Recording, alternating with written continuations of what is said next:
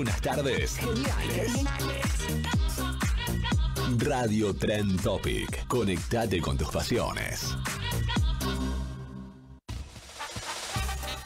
Bienvenidos al Informatorio Radio con Marcelo Mendieta y equipo. Actualidad, novedades empresarias y culturales en palabras simples. Con ustedes, los intérpretes.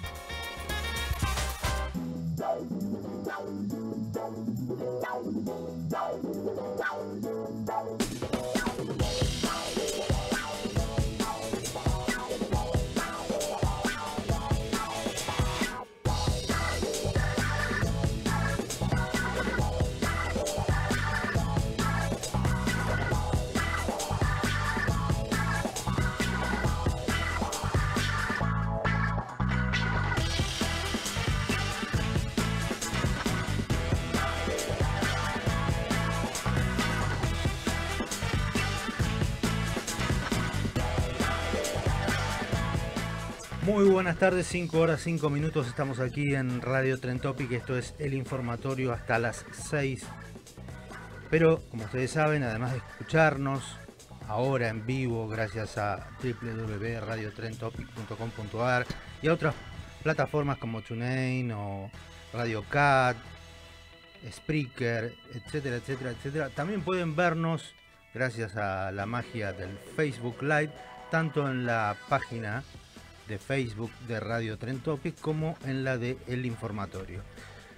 Y pueden además escucharnos cuando y donde quieran en formato de podcast en Spotify, en Spreaker y también en Radio Cat. Solamente en el buscador pongan El Informatorio o Radio Trentopic y allí además van a encontrar una gama impresionante de distintos ciclos que se emiten por esta emisora. Parezco un locutor de la década del 40, más o menos. Voy a presentar a mi equipo, del cual estoy absolutamente orgulloso. ¿Por qué estoy orgulloso? Porque son las únicas tres personas que dijeron, sí, vamos a hacer el programa. Los demás dijeron que no. Así Ah, que ¿sí? tengo que estar orgulloso de ustedes. Perfecto. Comienzo por Valentina. ¿Cómo le va, Valentina? Buenas Hola, tardes. ¿Cómo buenas anda? tardes. Nuestra columnista de la generación Z. Exactamente. Bueno, ¿Cómo, cómo estás? muy bien. ¿Usted? Muy bien. Muy bien. No, y yo sé que lo mío no se nota que estoy muy bien, pero puedo asegurar que sí. Eh, Lidia Schmuckler, otra columnista con otra visión de la vida, más volcada hacia los eventos. Tiene también un profundo interés por todo lo que es el cuidado del medio ambiente y otras cuestiones. ¿Cómo le va? Buenas tardes. ¿Qué tal? ¿Cómo va? Muy bien usted, Lidia. Bien, todo bien, disfrutando Bueno. de este invierno-verano que estamos pasando. Invierno, verano. Claro, ¿no se acuerda que hizo frío todos estos días y ahora Ah, hace sí, calor? sí, Entonces es como... Sí, no está es parejo. un clima bastante cambiante. Sí, Y esperemos que el verano, que además esperamos pasarlo aquí en Radio Tren Topic, sí. esperemos que el verano sea lo más benévolo posible. Y hablando de los cambios de clima y de las afecciones que a veces provocan, ya lo tenemos recuperado. Me dijo que está al 100%. ¿Así? Al 100%, ¿Al 100? al- el gran operador técnico galardonado con los premios Radio Tren Topic y otros premios más que tiene, pero que Los tiene guardados en el placar. Sí, no, no los anda mostrando porque es una persona modesta. Le damos también las buenas tardes a Ezequiel Amarillo, arroba Ezequiel Amarillo, nuestro influencer. ¿Cómo le va? Buenas tardes. Muy buenas tardes. Eh, sí, estoy al 100%. Por suerte ya me mejoré. Ya estoy bien. Sí, sí, se le nota, se le nota. Nos alegramos, nos alegramos. Helga sigue en casa, no se ha escapado la gatita. Sigue en casa. eh, ahora tiene miedo de salir porque, bueno, estuvo un- todo un día afuera. Eh, se ve que la pasó mal, así que ahora tiene miedo de salir. No lo veo tanto en las stories de Instagram. Es una suerte de castigo por haberse Claro. portado mal. Exactamente, todavía está de castigo. Ah. Nos hizo sufrir mucho, así que. Sí, sí, sí, uno se preocupa cuando una mascota... Bueno, hoy casualmente, no sé si servirá para gatitos, pero leí que Personal lanzó una aplicación para eh, ponerle un chip a los, a los perros para tenerlos monitoreados. Así que por ahí hay que averiguar si sirve para, sí, sirve para gato. para gatos también. Tendremos que averiguarlo. Sí, sí. Igual cuesta un poquito caro, ¿eh? 5 mil pesos leí por ahí que cuesta el Sí, dispositivo. va a salir 5 mil pesos. Así que- Y bueno, y, y funciona con un con un chip de 130, 135 pesos aproximadamente por mes. Ah, ah, hay que pagar, claro, una Claro. tarifa extra. Bueno, pero todo sea por saber dónde están nuestras mascotas, porque a veces, bueno, hacen travesuras o se pueden llegar a escapar y uno, qué sé yo, son parte de la familia, ¿no? Entonces uno quiere saber dónde están y que estén bien y bueno, esta es una herramienta que nos da la tecnología. Bueno, hoy vamos a tocar dos temas, me parece muy importantes. Por, por un lado, el turismo, que a partir de, de la devaluación que tanto castigó con el tema de la suba de precios, genera toda una expectativa respecto de, por ejemplo, las vacaciones de verano. Aquellos que estén en condiciones de, de viajar, ¿lo van a hacer al extranjero o por la diferencia que tiene el, el peso respecto del dólar van a elegir descansar aquí en destinos turísticos de la Argentina? Y por otro lado, si el dólar está caro para nosotros, pero obviamente les permite a los extranjeros tener una- hacer una buena diferencia viajando hacia la Argentina. ¿Se generará un boom? Bueno, a lo mejor Alberto Albamonte, que es el presidente de la cadena de hoteles Howard Johnson, tiene la respuesta para esto, pero además, más allá de que tenga o no la respuesta para esto, vamos a hablar del impresionante despliegue de este año, hablando de inversiones, ya que a veces cuesta encontrarlas, en materia de turismo, en materia de hoteles, Howard Johnson es un ejemplo, este año inauguró varios hoteles y si no saqué mal la cuenta, ya llega a los 43 hoteles desde el año 99. Realmente un crecimiento muy destacable. Y ustedes saben, el tema del empleo, el tema de los recursos humanos, es algo que nos preocupa y nos ocupa. Porque en épocas de crisis, obviamente se resiente la calidad del empleo, es más difícil por ahí conseguir trabajo, pero también es más difícil mantenerlo, es más difícil también para las empresas, sobre todo las pymes, pagar los sueldos, pagar los aguinaldos. Y dentro de ese panorama también hay cuestiones muy sectoriales, muy particulares, que tienen que ver con cómo se maneja el mercado laboral en esta época y ya desde hace unos cuantos años, que tiene que ver, por un lado, con que se suele pedir experiencia y juventud, cosas que por lo general no van de la mano, porque precisamente quienes buscan un primer empleo lo que no tienen es experiencia, pero sí tienen juventud. Y por otro lado, aquellas personas que tienen experiencia, y quizás mucha experiencia, no consiguen trabajo porque son demasiado grandes para los parámetros de los recursos humanos. Eso está empezando a cambiar. De hecho, nosotros aquí hemos hablado con, con Pablo Liotti, uno de los ejecutivos de ADECO, precisamente quien se ocupa de las relaciones con los medios de comunicación y también se ocupa del área de marketing de ADECO, esta consultora líder en recursos humanos, y nos decía que 8 de cada 10 ofertas descartan a las personas mayores de 48, de 45 años. Es decir, de- dicho de otra manera, solamente el 20% de las ofertas de trabajo están dirigidas a personas mayores de 45 años, pero nos decía que esto está empezando a cambiar lentamente. Una de las organizaciones que de alguna forma hace un gran trabajo para acortar esta situación, para cambiar, para modificar este panorama, es la ONG Diagonal, que precisamente trabaja en la reinserción laboral de personas mayores de 45. Y tenemos la posibilidad de dialogar con su directora ejecutiva, que es Gabriela Alperina, a quien le damos la bienvenida a el informatorio aquí en Radio Tren Topic. Hola Gabriela, Marcelo Mendieta la saluda, ¿cómo le va? Hola Marcelo, ¿cómo te va? Buenas tardes. Buenas tardes, gracias por atendernos. Eh, No, por favor. le iba a preguntar, ¿por qué cree que hay una desvalorización en el mercado laboral que ahora por suerte se está empezando a revertir, entre otras cosas, por eh, la las campañas que desarrollan ONG como, como Diagonal? ¿Por qué hay una desvalorización de las personas que tienen más de, de 45 años? Mira, Marcelo, e- e- es largo el y nosotros venimos, imagínate, hace 17 años que Diagonal funciona como ONG. Eh, y nosotros a veces nos preguntamos más allá de por qué es qué hacemos nosotros, ¿no? Eh, en la sociedad civil para poder achicar estas brechas y eso que vos comentabas antes, yo estaba al tanto de esta encuesta de ADECO porque trabajamos también en conjunto. Eh, y te agrego algo, el 90% de las búsquedas es para menores de 45 años. Claro. Eh, y esto, bueno, uno aparte lo escucha todo el tiempo. A ver, eh, atrás de todo esto hay como mucho prejuicio, eh, mucho prejuicio de los tomadores de decisión en, en temáticas de empleo en las empresas.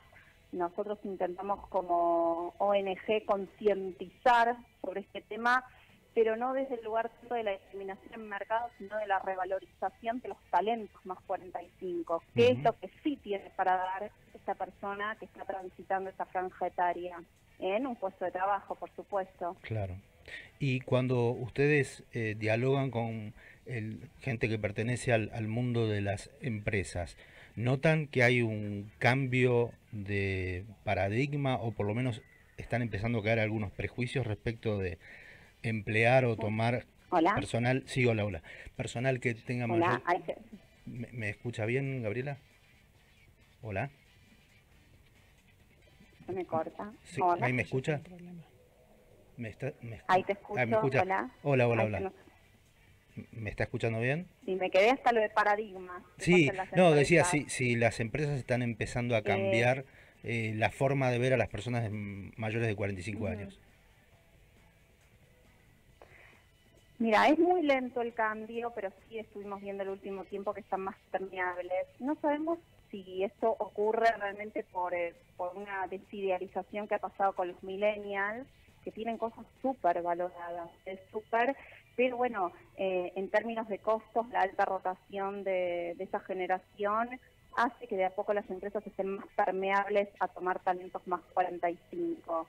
Eh, es un, trabajo como muy lento, eh, pero bueno, vemos que cada vez se acerca, digamos, se acercan más, empresas y también vemos en nuestra población que cada vez tienen más posibilidades de acercar su currículum a las empresas. De todas maneras, no es sencillo, sabemos las dificultades. Por eso nosotros trabajamos desde Diagonal ofreciendo, digamos, nuestro programa de reinserción laboral de manera gratuita porque sabemos que también, más allá de lo que hacemos con, la sociedad y con las empresas, tenemos que trabajar con la población, empoderarlos y darles herramientas para que vuelvan a salir más fuertes hoy al mercado. Claro. tanto para buscar en relación de dependencia como la opción de que haga un, autoempleo, porque después de los 45 o 50 no solamente volver a la empresa a trabajar. Eh, Gabriela, Alperín, recordamos, es directora ejecutiva de la ONG Diagonal que trabaja en la reinserción laboral de personas mayores de 45 años. Y, en, digamos, ustedes brindan cursos de capacitación para, para, personas que quieren reinsertarse en el mercado laboral. Gabriela, ¿me escucha? Sí, te cuento, no es un curso de capacitación. Sí. sí, yo te escucho. ¿Ustedes me escuchan? Sí, perfectamente, sí, sí, sí. Bien, mira, Diagonal brinda desde hace más de 10 años un programa de reinserción laboral, más 45, que es un programa gratuito, es importante decirlo, abierto, que estamos en nuestras oficinas en la zona del centro, que es un programa de siete encuentros consecutivos donde trabajamos toda la parte emocional que tiene que ver con la búsqueda de trabajo, con la resignificación laboral, con la crisis porque la calidad de trabajo es una crisis, hay que atravesarla, es un, es un programa grupal, porque lo primero que pierde una persona cuando pierde trabajo es la red, la contención, con lo cual los volvemos a poner en red con otros y después le damos a la parte técnica necesaria para volver hoy al mercado, es decir, cómo se hace un currículum, qué es una entrevista laboral hoy, cuáles son las de contacto, qué es un psicotécnico. Los ayudamos a armar el currículum, porque nosotros desde acá siempre decimos lo mismo, es una población que intentamos que dejen de pedir trabajo para empezar a ofrecer experiencia, que justamente es lo que ellos tienen. Tienen la experiencia de la vida, de los años, tienen la sabiduría que no se aprende en la universidad. Se nos da el haber atravesado crisis vitales, crisis del país, el haber transitado situaciones emocionales diversas. Em, y después nosotros hacemos una articulación donde acercamos a la gente a las empresas para que puedan emplearlos.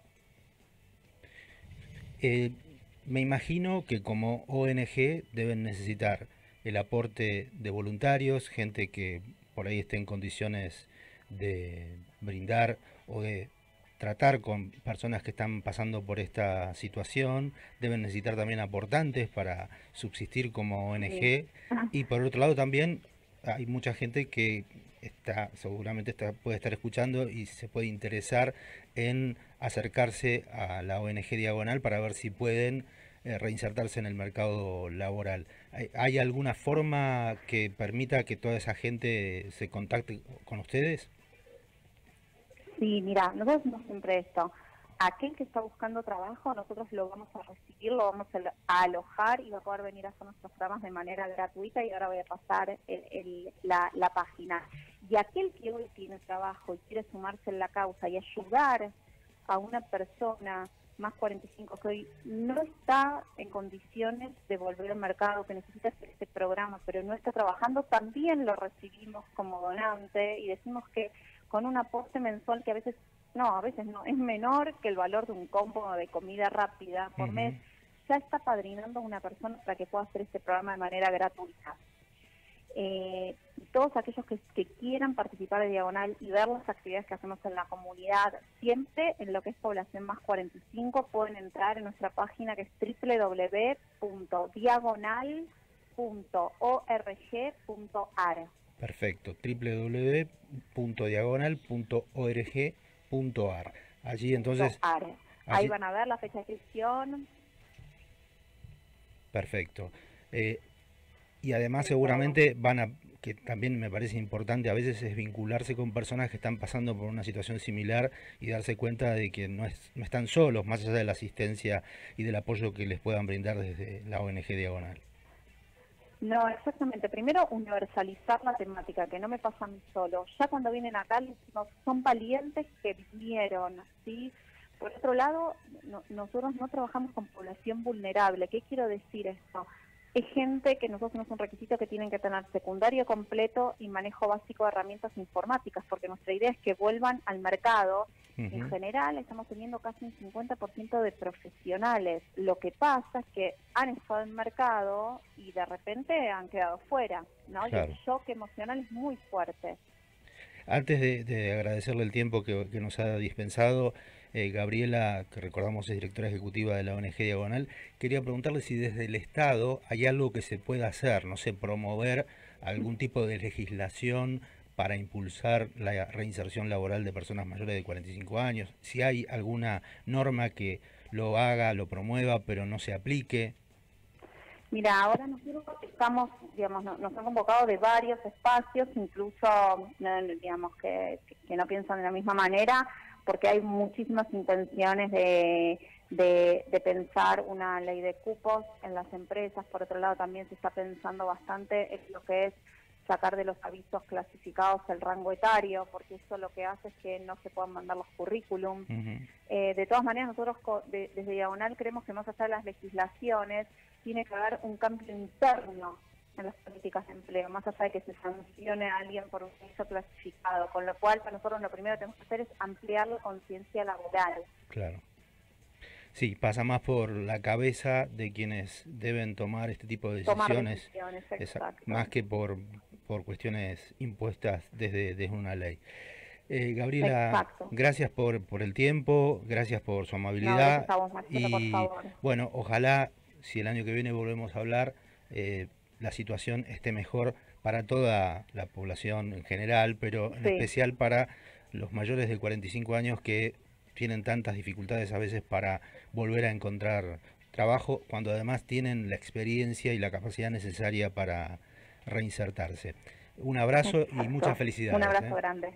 Muy amable. Hasta luego. Hasta luego. Bueno, Gabriela Alperín es directora ejecutiva de esta ONG que se llama Diagonal. Recordemos la dirección tanto para aquellos que tienen más de 45 y no tienen trabajo eh, y tienen ese deseo de volver a ser dignos, porque más allá de que uno sepa que es digno, el trabajo genera ese sentimiento de pertenencia, de que uno es útil y además permite que uno viva, ¿no? pueda pagar sus cuentas eh, pueda Comer. comer, vestirse, necesidades absolutamente básicas. Comprar un remedio.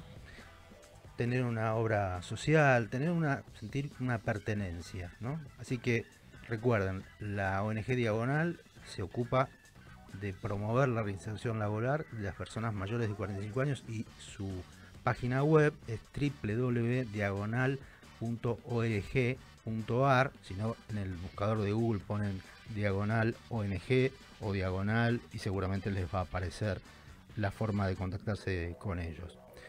Y por supuesto también, si forman parte de alguna empresa y tienen poder de decisión sobre la incorporación de personal, también es una buena forma de vincularse con ellos si no los conocen y ver si dentro de las posibilidades pueden incorporar personas que superen los 45 años. Y por otro lado también estarán aquellos que disponen, como decía Gabriela, de la posibilidad de hacer un pequeño aporte para un aporte financiero para poder solventar los programas y la actividad de esta ONG o que tienen algún tiempo libre y quieren dedicarlo a trabajar para que se reinserten en el mercado laboral estas personas que tienen más de 45. 5, 25 minutos. Separamos, corremos un- una cortina virtual y ya seguimos. Estamos hasta las 6 de la tarde aquí en el informatorio por Radio Tentop. Seguinos en las redes sociales, arroba informatorio en Twitter, Instagram y Facebook.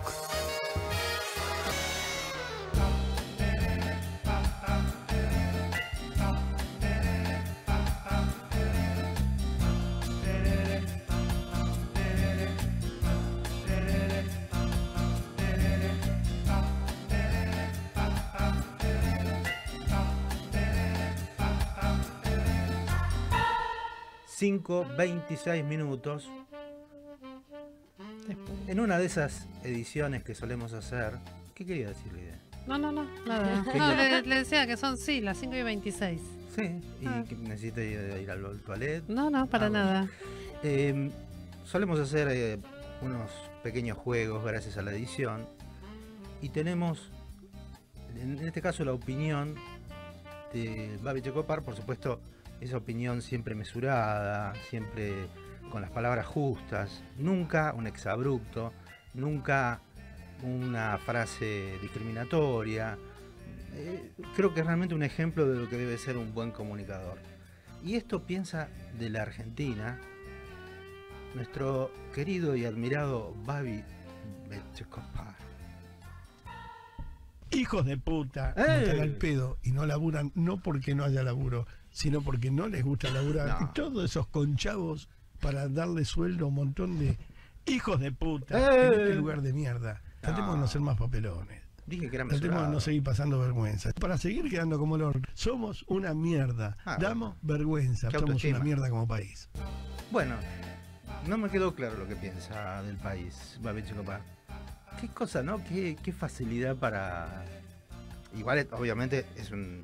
Esto, esto que dice Babi Checopar quizás le llegó 20 minutos decirlo. Nosotros hicimos un- una suerte de compilado con sus frases más rutilantes. Dio un hermoso mensaje, la verdad. Sí, muy positivo, Alentador. muy positivo. Pero qué facilidad, qué facilidad para el insulto, para la palabra soez. Y me estoy poniendo moralista. Casi. Sí, demasiado. Casi, casi. bueno, eh, Valentina, su momento, con música, con ritmo, con fe, con esperanza. Eh, ¿Tiene algo preparado? Sí, sí, sí, ah, obvio, bueno, bueno, obvio. escuche la música, escuche la música.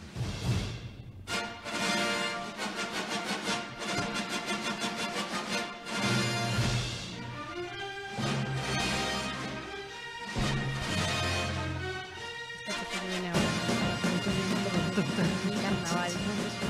Bueno, todo suyo, Bueno. Valentina. Vamos a hablar de Bohemian Rhapsody. Que la- casualmente es una película de 20th Century Fox. Exactamente, eso- este me hizo acordar también a, Sí, que a tiene- la película. Está muy bueno porque cuando termina el- la introducción viene una guitarra que es la típica guitarra de Claro. Brian May de Queen. El tema es tocado por la, la guitarra de Brian. La Eh, guitarra de Lolo, May. que es eh, integrante de Queen. No Vamos a hablar un toque de Queen. Queen es una banda británica que se creó en la década del 70. Y, y bueno, este... ¿Pero por qué me miran? No, no, lo estoy escuchando con atención. Bueno, resulta que no voy a hablar tanto de la película, sino bien de la canción que lleva el nombre de la película, es el Claro. mismo nombre. Bohemian- Rapsodia Rhap- Bohemia en Claro. español. Bohemian Bohemian Rhapsody. Rhapsody en inglés. Eh, oficialmente es la canción más escuchada y reproducida del siglo XX. No me diga. Superó todo. Estamos es- hablando en streaming, ¿no? Claro, en streaming. Y es también el tema de rock clásico más escuchado de la historia. Usted Superó superó todo. a todos. Bueno, desde el lanzamiento de hace 40 años se lanzó la, Sí, la claro, fue un hito en su momento, en el año 1975. Esa canción pertenece al disco Una noche en la ópera, que me parece que la película tergiversa un poquito la historia en ese aspecto. No se cuenta, se saltean muchas Sí. partes. No es, pero la película es muy buena, Mm, la actuación de Rami. Malek es impecable como eh, Freddie Mercury. Y eh, lo que iba a decir es que el disco, Una noche en la ópera, lleva esa denominación porque los Queen eran fanáticos de los hermanos Marx y de hecho se juntaban mucho, no sé por qué podría haber sido, tranquilamente lo podrían haber puesto en la película, que solían ver películas de los hermanos Marx, estamos hablando de un grupo cómico de los años 40, 50, 60 de Estados Unidos, eh, y de hecho ese disco se llama Una noche en la ópera porque hay una película de los hermanos Marx que se llama Una noche en la ópera y el disco siguiente se llama Un día en las carreras que también es un título de una película de los hermanos Marx. Eh, en la película no lo ponen así, No, no, lo ponen que- como... Que el disco va a ser como una ópera. Claro, lo quisieron hacer como más místico. Sí, pero es cierto que era un tema que duraba más de seis minutos, no era lo adecuado para... No era comercial, ¿no? Claro, en no ese era, sentido. era muy largo para pasar en las radios, pero me parece que acá también hay otro tema que estuve leyendo, que me parece que también quizás tenga que ver con el precio del petróleo, porque recordemos que los vinilos Sí. se hacían con derivados del petróleo y en aquel Mm. momento, estamos hablando del año 75, el petróleo era caro. Entonces posiblemente también eso influyera en la duración de un tema o no para Claro. utilizar más o menos eh, materia prima, en este caso un derivado del petróleo. Bueno, ¿Viste y a, pe- a para- pe- sí, sí, a pesar de todo eso, durar seis minutos, de que no le tenían fe a la canción ni nada, fue la primera canción de Queen en su época en alcanzar el top 10 en Estados Unidos. Claro, que era el mercado que ellos querían obviamente conquistar. Claro. Y en el Reino Unido, que es de- donde residían ellos, eh, durante nueve semanas estuvo en las primeras listas de, de- de cualquier este, radio, o sea, siempre se reproducía. No Es que yo creo que a esta altura no hay nadie que no asocie el rock y no asocie a Queen y no asocie Bohemian Rhapsody como un verdadero hito en la historia de la música contemporánea, ¿no? Sí, este, mm, el CEO de Universal Music Group, que mm, es el que confirmó esta información de que era la canción más escuchada, eh, dijo que es una de las mejores canciones de la historia y una de las mejores bandas de la historia. Mire usted. Bueno, muy lindo tema nos ha traído. Ujú. 5.32 minutos.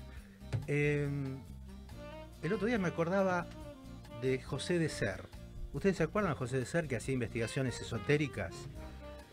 Sí. Y encontré este fragmento.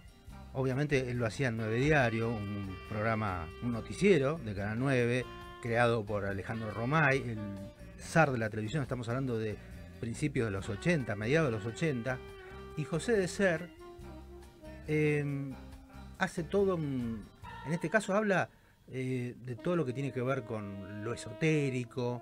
Es, la presentación de un, de un informe. No sé si eh, Nico. eh, Nico hoy me dijo. Nico es un ex compañero de Radio El Mundo que cumplió años ayer y me dijo que era un fan de José de Ser. Y yo también soy fan de José de Ser. Eh, no sé si Ezequiel Amarillo lo tiene. Vamos a escuchar este fragmento, obviamente también con algunas supresiones de, y omisiones y copy and paste de José de Ser, el hombre que iba al Uritorco y nos decía si había vida extraterrestre o no. Lo escuchamos. Es un laberinto de, de- de terror. Es infernal. Es, esta es la primera vez en mi vida que me toca presenciar una cosa así. Se va encadenando las cosas. cosa. La no casa embrujada. De pronto estamos con el chango parados acá y sucede a era el 20 camarógrafo. metros algo y, y- y inmediatamente como si fuese una reacción a 10 metros en otro lugar y, y se inicia toda una reacción de fenómenos y, caídas y, cosas que, que realmente, te, te digo, hasta nosotros, ayer, ¿Qué le quiero pasó? decir, ayer la vista no la podíamos fijar. De pronto estás hablando con una persona y te gritan de un lado. Es, es, es, infernal, es una cosa que es, eh, es un laberinto de, de- de terror. La protección, perdón, este, no te la voy a decir. Epa, Porque protección. precisamente el espíritus. parapsicólogo que me pidió esa protección me dijo que no la diga. Pero sí te voy a decir una cosa y vuelvo a comprometer mi palabra de honor. Además hay Palabra de honor. Muchos testigos. Esta es la primera vez en mi vida que me toca presenciar una cosa así. Es la segunda o tercera vez que yo me pongo una camisa blanca en mi vida. ¿Y qué Es infernal. camisa blanca? Es un laberinto de, de- de- de terror. Siempre vuelvo al laberinto de terror. Sí, no, porque este era el famoso caso de la casa embrujada de La Plata. Y como si fuera una especie de reality, todas las noches en 9 Diario, la edición de, creo que estaba a las 7 de la tarde, 7 y media, 8, José de Ser presentaba sus informes y al mediodía también los presentaba en el noticiero del mediodía y al mediodía por ahí solía estar en el piso de Canal 9 y decía, ahora vamos a salir con el, con el camarógrafo, con Chango, vamos a salir eh, a esta nueva aventura y así todos los días, todos los días la gente, aunque usted no lo crea Valentina, todos los días la gente se sentaba frente al televisor, Canal 9, para ver qué había descubierto Sí, esa noche. Siempre estaba con ovnis, escrituras en las piedras, gente Claro. con dialecto desconocido. Como si no hubiera suficientes peligros reales en nuestro mundo, él buscaba peligros en el mundo, eh, en ese mundo paralelo que, o paralelos que existe, eh, tratando de descubrir qué había, en este caso en la casa embrujada de La Plata o que había en el Cerro Vitorco. Mm. Y descubría cosas, ¿eh? Yo algunas cosas me las he creído. He creído que han bajado. De hecho, hay un. El otro día lo veía en. Hace dos o tres días, lo vi en Instagram. Que promocionaban pasar la noche de fin de año en el Cerro Uritorco. Mm. Para ver, porque parece que cuando cae un cambio de año. eh, Se pueden visualizar ovnis. Igual yo creo que si uno se excede con la sidra, con el champán, puede llegar a ver llegar a ovnis, ver. puede llegar a ver un montón de cosas más. Puede llegar a ver seres extraterrestres, puede llegar a ver a un cuñado pasado de copas, puede ver un montón de cosas, puede ver un montón de cosas. 5.36 minutos. Em, me interesó eso de Bohemian Rhapsody, ¿eh? Me, me Sí, la verdad que yo tampoco no, no, no sabía nada. Me, me enteré justamente por el comunicado que dio el CEO de.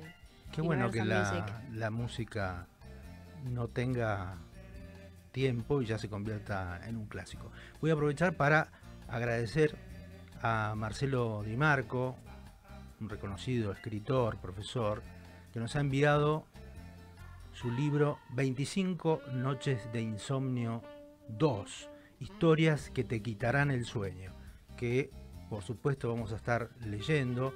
Me imagino que además debe ser un, un excelente libro para leer en estas noches de verano.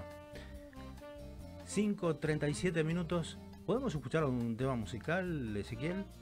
Vamos ahí a la lista de, de Spotify. Porque les cuento. Don Vilanova, Botafogo,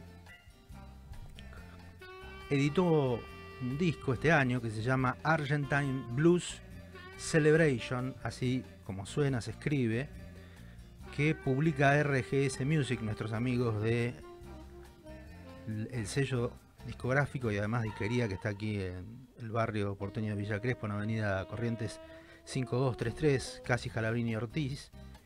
Y Don Vilanova Botafogo, este gran guitarrista, versiona muchos de los clásicos del blues de la Argentina, acompañado por Rafael Pravetoni en bajo, Luciano Escalera en batería y Franco Capriati en armónica.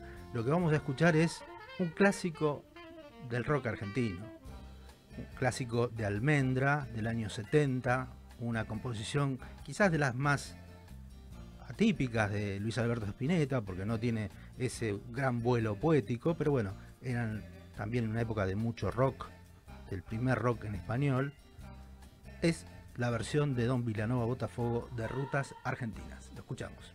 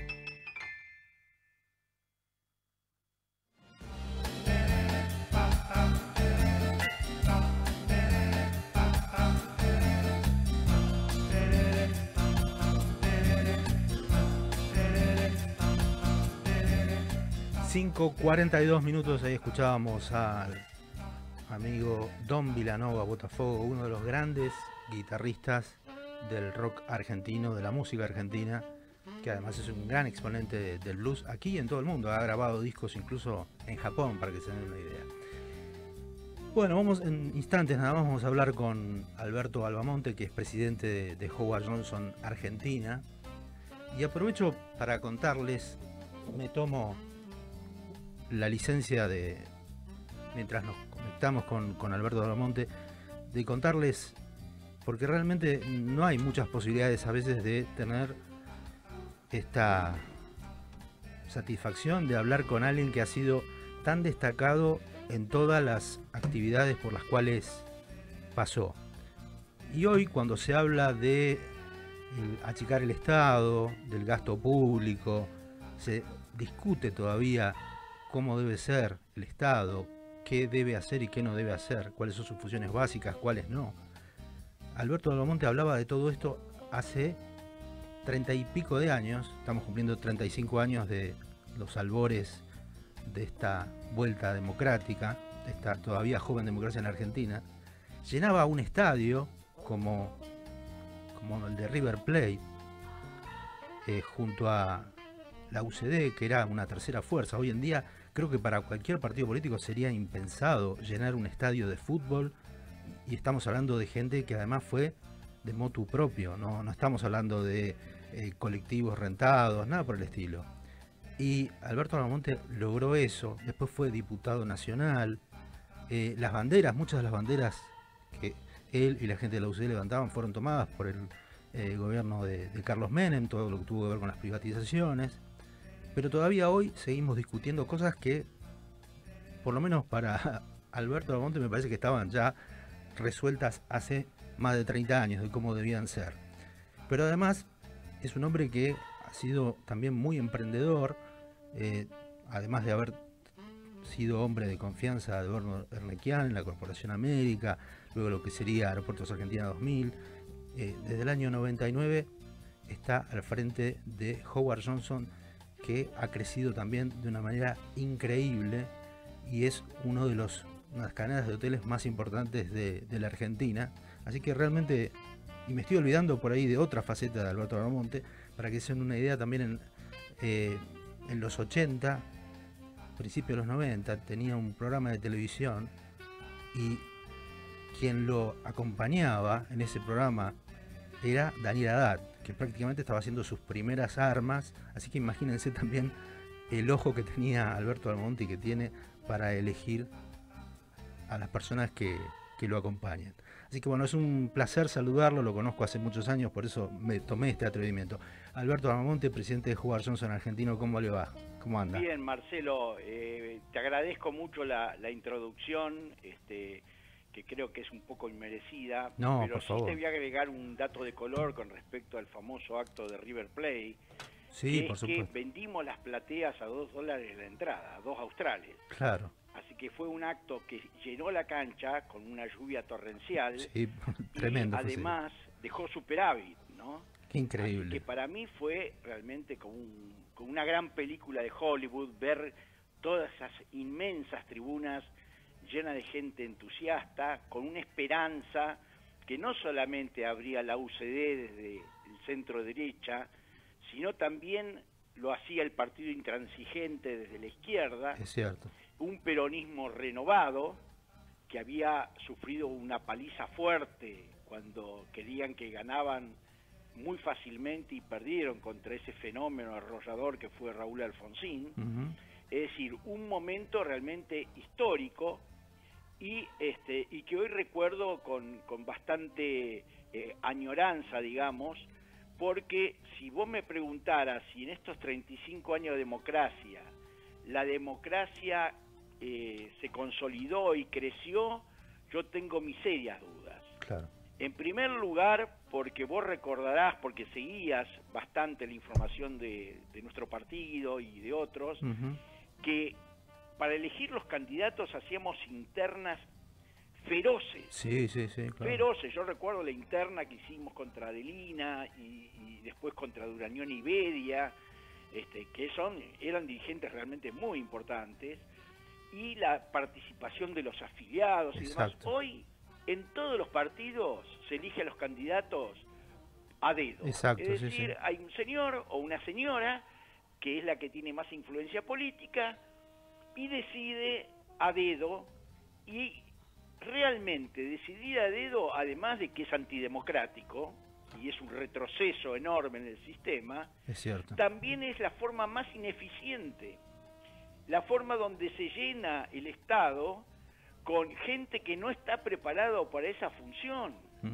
Y, y ni que hablar de aquellos que son eh, múltiple, múltiple choice, diría yo, Sí. que un día son ministro de Trabajo, al otro día son ministro de Seguridad, al otro día son eh, director de un hospital, Es este, y realmente así un país serio no funciona. Y no puede funcionar jamás, porque estamos casi en un socialismo, cuando el 70% del ingreso del Estado que debería ser para educación, para salud, para infraestructura, para mejorar nuestro sistema de costos, de exportaciones, son simplemente para dar dádivas a personas que no trabajan. Y realmente eso es casi, diría yo, un agravio al sentido común. Sí, sí, sí, sí, por supuesto. Alberto, bueno, básicamente eh, me parecía que era, eh, era merecido que, que- que hiciera mención a, a algo que, que pasó en su vida y que además creo que eh, mucha gente todavía lo, recuerda y lo valora por eso.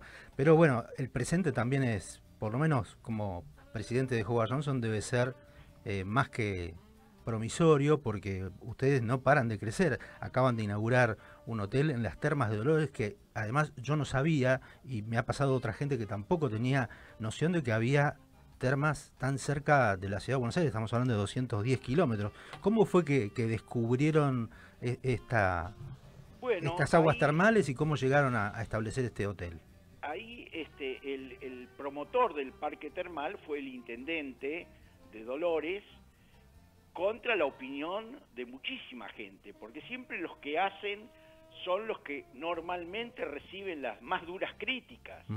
Y eso fue lo que le pasó a Camilo Echevarren y este, nosotros eh, hablamos con él, no creíamos tampoco demasiado en el proyecto, pero tampoco nos ni- animábamos a descartarlo. Entonces hicimos, como decía mi padre, hay, hay que agarrar los libros. Eh, eh, hicimos un gran estudio de mercado, muy completo, y para nuestra sorpresa se dio que era un lugar muy interesante para el perfil de Howard Johnson, que hoy tiene 43 hoteles, es la cadena más grande de Argentina, y tiene el 70% de su ocupación en estos hoteles con público corporativo y un 30% con turistas. A pesar que tenemos magníficos hoteles de turismo, Sí, como el de. Villa de Merlo, el de Cariló, también este, esos hoteles también son corporativos, tienen salones de convenciones. Eh, el, el- por ejemplo, el Hotel de Pilar tiene nueve salones de convenciones, es un líder en, en ese tipo de, de negocios. Y además hemos buscado una serie de, de estrategias que nos permitan tener la más alta rentabilidad posible. ¿Por qué? Uno puede decir, bueno, chocolate por la noticia, este, todos queremos ganar más plata. En nuestro caso, no solamente que eso es bueno, es positivo porque alienta a seguir con las inversiones, alienta a hacer crecer cada uno de los hoteles. Tenemos hoteles que tienen siete ampliaciones desde que abrieron y eso es muy promisorio, pero además porque nos permite entrar en promociones a tarifa eh, bastante económica porque el hotel tiene margen para eso. Si en cambio el hotel eh, no tiene la estructura, no tiene la marca, no tiene la- el central de reservas, no tiene los motores de, de reservas en, de- en todo el mundo, como es nuestro caso, obviamente que la rentabilidad va a caer muchísimo y sobre todo la rentabilidad de los hoteles hoy está fuertemente amenazada por las altas comisiones que cobran quienes llenan esos hoteles que no tienen capacidad propia para llenarlos, ¿no? Yo a veces escucho, por ejemplo, en las radios más importantes, tres días antes, por ejemplo, de Semana Santa, la publicidad de un gran hotel en Mar del Plata. Y digo, ¿cómo invierten? Tiene- Nosotros hace una semana que tenemos todos los hoteles llenos, Claro. ¿verdad? Pero claro, este, esos eh, son prácticas que pueden ser utilizadas o no. Cada empresario sabe lo que tiene que hacer y nosotros eh, empezamos ya en el año 2000 con la autorización de la CONADU y del Ministerio de Educación de generar la primera carrera universitaria de hotelería, Muy una bueno. licenciatura de cuatro años, y hoy hay siete universidades de primer nivel que tienen esa carrera. Excelente. Excelente. Estaba repasando en mi memoria este año, eh, a pesar de todas las dificultades que, tiene la Argentina, ustedes inauguraron el primer hotel internacional en La Plata, eh, el hotel que está en el Abasto, que tiene servicio de Shabbat y comida kosher, y además el Howard Johnson Plaza Buenos Aires, que está sobre la avenida 9 de Julio. Eh, además de este hotel eh, que tiene las termas allí en, en Dolores. Eh, me imagino que es un cierre, mejor cierre de este año no, no puede haber. Es un buen cierre, pero en realidad teníamos planificado por lo menos abrir ocho hoteles. Lo que sucedió este año, que es de público conocimiento, es que prácticamente desaparecieron los créditos. Claro. Es decir, con estas altas tasas de interés, nosotros en absoluto recomendamos a nuestros inversores entrar en deuda porque son impagables. Claro. No hay ninguna actividad comercial lícita que pueda pagar estas tasas de interés. Entonces, eso lo que nos sucedió es que las eh, obras, tenemos 25 obras en construcción en este momento, eh, se retrasaran, Claro. pasaran muchas inauguraciones que estaban planificadas para este año para el año próximo. Por suerte y gracias a Dios, ninguna de esas obras se, se paró completamente. Lo que, lo que sucedió fue que disminuyó bastante el ritmo de construcción. Claro. Eh, Alberto Albamonte, recordamos, es presidente de Howard Johnson Argentina. ¿Y se puede tener una expectativa auspiciosa respecto del turismo extranjero y del turismo local, teniendo en cuenta el valor del dólar y, y que eso se vea reflejado en ingreso de divisas en el año 2019? Yo creo que sí, eh, eh, ayuda mucho, pero hay otras medidas que ha tomado este gobierno que yo aplaudo, porque venimos escuchando promesas desde hace décadas, como por ejemplo eh, permitirnos ser un poco más competitivos al no cobrar impuestos a los extranjeros, Claro. sobre todo a las empresas, porque nosotros somos una cadena corporativa, estamos en casi todo el país y para nosotros ese punto era muy importante y el otro que yo he eh, batallado muchas veces en el desierto es la apertura a gran cantidad de empresas de aviación que quieren venir a la Argentina y que no las dejaban venir. Claro. Eso es un horror porque no solamente eso incrementa el déficit de aerolíneas argentinas, sino que además impide a mucha gente de clase media, de clase media baja, poder viajar en avión en un, en un país que es el séptimo en superficie del mundo. Claro. Nosotros necesitamos tener vía aérea a todos los lugares del país. No puede ser que una persona que pro- de pronto vive en Neuquén, para ir a Salta, tenga que pasar por Buenos Aires y esperar Ujú. 6, 7 horas para hacer la combinación de vuelo. Eso es un disparate.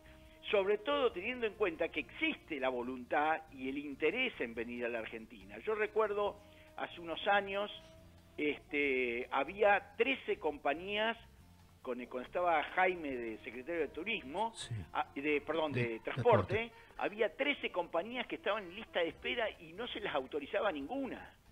Es decir, eh, por ejemplo, una de las cosas que sucedía, que era tremendo, yo viajaba mucho a Córdoba porque en Córdoba tenemos nueve hoteles, este, y por ejemplo, si yo viajaba por LAN y llovía, me tenía que mojar porque eh, quien manejaba este, el tema de las rampas estaba afiliado al sindicato de aerolíneas y entonces a los otros aviones que le hacían la competencia a aerolíneas este, no le daban el, servicio de rampa, el servicio de, de manga. De manga, ¿no? claro.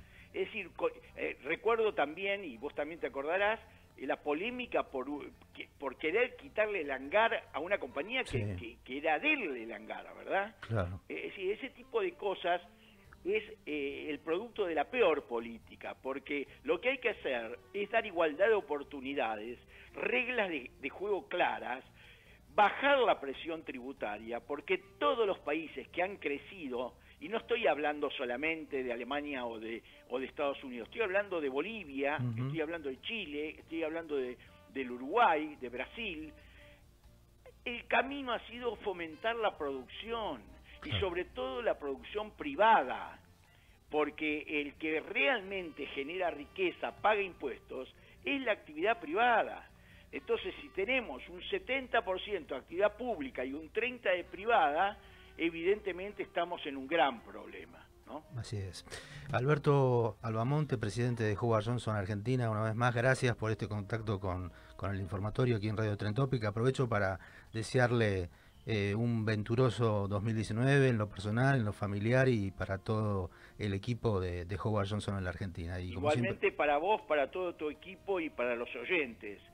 Creo que si ponemos el hombro entre todos, el país sale adelante muy bien. Si seguimos mendigando al Estado, si seguimos cortando calles, si seguimos violando la ley en forma permanente, si hay jueces que miran para otro lado y defienden más al delincuente que a la víctima, este, vamos por mal camino. Eh, si estamos a un paso de hacer las cosas bien o de definitivamente hacerlas muy mal. Te mando un abrazo muy grande, Marcelo. igualmente un gran abrazo, Alberto. Gracias, eh, muy amable. Hasta luego. 5, 58 minutos. Bueno, eh, Johnson, la verdad que no, tenía dimensión. 43 hoteles, la cadena más importante en la Argentina. Y qué pena que por cuestiones que tienen que ver con la situación financiera, económica en la Argentina, no tenía idea que planeaban abrir muchos más hoteles de los que abrieron y que han quedado pendientes. Pero bueno, eso habla también de fuentes de trabajo, de inversión y de capacitación también, como él nos decía, a partir de, de haber fomentado una, una carrera universitaria que forme profesionales. Tenemos un, un minuto, minuto. el minuto final de Lidia Schmuckler. Bueno, les cuento, eh, se viene el verano, vamos Sí, a la playa. es- nosotros no sé si vamos a la playa, nosotros vamos a estar en la radio. Bueno, Usted no sé. Yo me voy a hacer una escapadita por la playa, pero ¿sabe para qué? ¿Para voy a ir a ver si realmente los argentinos y aquellos eh, ciudadanos que van a la playa Sí. van a ser eh, cuidadosos con los sorbetes eh, en la arena, en el agua y en sus bebidas. Hay toda una movida para mm, eliminar los sorbetes. Eh, justamente, bueno, recibimos de McDonald's acá un- Claro, ellos ya una campaña. no entregan más sorbetes, Exactamente. salvo que uno los pida. No están más los dispensers para... No, no, no, no es canilla libre de sorbete en McDonald's a partir del 31 de octubre. Ahora, eh, hay una propuesta para Mar del Plata que había, había elevado el Consejo de Legislativo de la ciudad, que lo mandó en el 12 de junio, según mis datos, y todavía no se decidieron qué van a hacer. Si va a haber una prohibición de usar sorbetes en la playa o van a esperar a que pase el verano y recién después del verano van a eh, actuar en consecuencia. Eh, Villa Gesell y Pinamar, que son localidades cercanas a Mar del Plata, ya tiene eh, establecido un trabajo progresivo de eliminación, así como el de McDonald's. Eh, es- están en campaña para que bueno la gente no use sorbetes en la playa, para que los eh, comerciantes no entreguen sorbetes así a mansalva. Eh, y obviamente todo con la finalidad de cuidar el medio ambiente y cuidar, por supuesto, que esos sorbetes no vayan al agua porque terminan en eh, los cuerpos de los eh, animalitos que andan por el Claro. Parafraseando al gran Alejandro Romay, que hace un rato lo recordábamos Sí. en la voz de José de Ser y 9 Diario, tendríamos que decir, dígale no Al sorbete. al sorbete. Sorbete. Sorbete. Dígale no a la pajilla. Claro, exactamente. Así No que bueno, desde acá les pedimos a todos los que vayan este verano para las playas que se midan con el tema de los sorbetes, que usen más el vaso o las botellas con pico y que se olviden un poquitito de los sorbetes, que cambien los hábitos. Muy bien. Cambio de hábito, como Cambio una de monja. hábitos, como sí, una señor. monja. Muchas gracias, Lidia Schmuckler. Muchas gracias, Valentina. Igualmente. Muy amable. Le agradecemos también, por supuesto, a Ezequiel Amarillo. Y ya está el equipo completo. Bueno, no sé si está completo, pero está, está semi completo el equipo de Opción Z. Hay así que parte. No se vayan de la sintonía de Radio Tren Topic. Nosotros nos reencontramos el miércoles que viene a las 5 de la tarde. Que tengan una hermosa semana y fin de semana y todo lo que resta. Hasta la próxima. Adiós.